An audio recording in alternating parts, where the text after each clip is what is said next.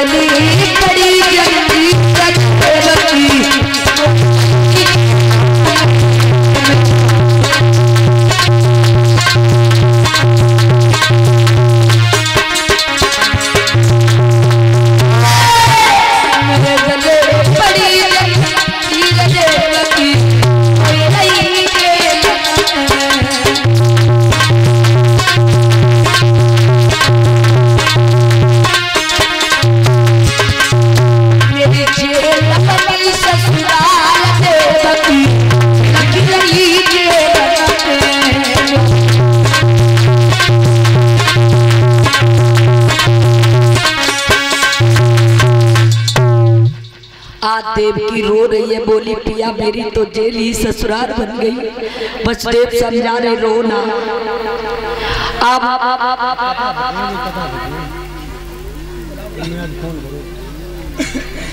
इधर श्री सुखदेव जी बोले, और ये हौसल भैया जी, क्या बन मुद्राएँ दान कर रहे हैं भागवत में? भागवत की तरफ़ से यही कामना है प्रसाद दे दे कि भगवान सदैव सुख शांति प्रदान करते रहे।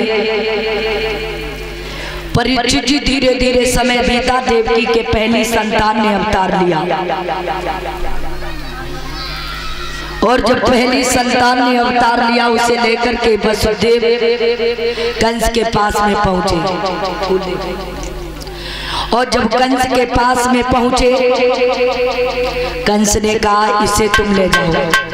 मेरा काल तो आठवां बालक है। ये बालक तो रोना है लौटार दिया। देव ऋषि बाबा नारद ने देखा सोचने लगे कंस को इसी तरह से दया आती रही तो भगवान का अवतार नहीं होगा। हाथ में बीड़ा लिया और ना प्रभु आपकी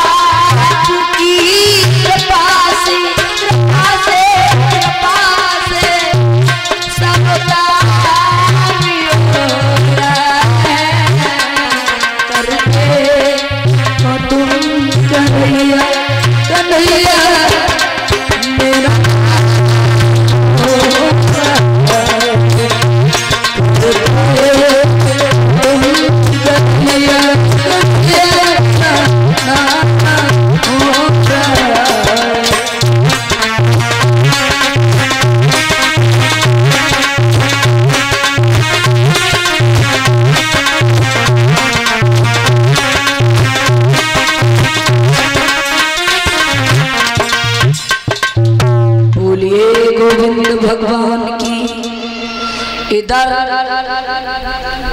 जब देवकी के छह बालकों को मार दिया, सातवां बालक आया। भगवान ने उसे खंडित कर दिया, रोड़ी के गर्भ में डाल दिया।